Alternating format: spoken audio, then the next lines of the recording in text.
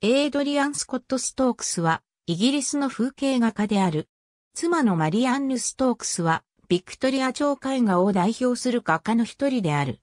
ランカシャーのサウスポートに生まれた。リバプールで綿の仲買商人となったが、絵の才能を画家のジョン・ハーバートに認められて、1872年に王立美術学校に入学し、1876年からロイヤルアカデミー・オブ・アーツに出展を始めた。1876年からフランスのフォンテーヌ・ブローやバルビゾーンを旅し、ジュール・バスティアン・ルパージュらのプレネール絵画の影響を受けた。フレデリック・レートンやジョン・エバレット・ミレーの影響を受けた歴史画やダニャン・ブーベレの影響を受けた肖像画も描いた。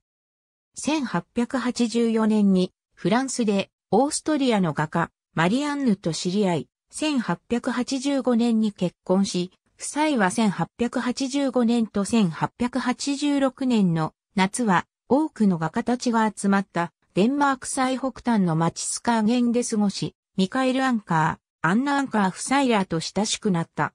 イギリスに戻った後は、1886年にコーンウォールのカービスベイに住み、セントアイブスに集まった芸術家たちと交流した。1909年に王立美術院の巡回員に選ばれ、1919年に正会員に選ばれた。パリやシカゴ、万国博覧会で賞を受け、セントアイブス美術協会の副会長などを務めた。ありがとうございます。